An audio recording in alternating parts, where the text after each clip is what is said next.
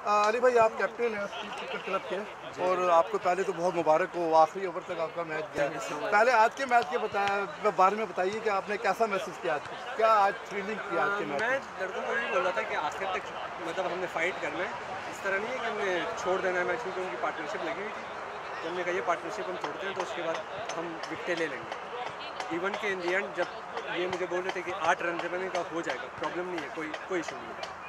तो हमने यही यही किया था कि फाइट एंड तक देना है। जितनी हम हमें कैपेसिटी हम पूरा देंगे उसको 200 परसेंट देंगे मैच जीतने के लिए तो इस इसीलिए लड़कों को भी मैं बार बार मोटिवेट किए जा रहा था क्योंकि वो सारे नए हैं इनको ज़ाहिर सी बात है इनको थोड़ा सा एक्सपीरियंस लेना है और इनका एटीट्यूड मतलब ये ऐसा नहीं है कि आप लोग मैच को थोड़ा रन पड़ेगा और आप हथियार डाल दें।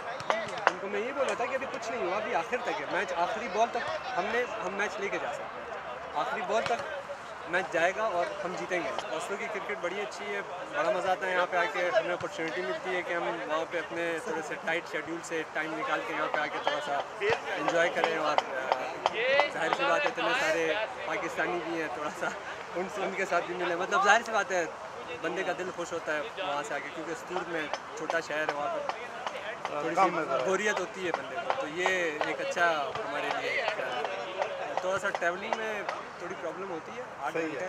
अब वो इंजर हो गया तो उसने अकेले ड्राइव भी करना है तो, तो थोड़ी सी प्रॉब्लम है लेकिन यहाँ पे आके हम काफ़ी इंजॉय बड़ी बात है। चले जी गुड लक आपके लिए। थैंक यू सो मच शुक्रिया आपका बहुत शुक्रिया।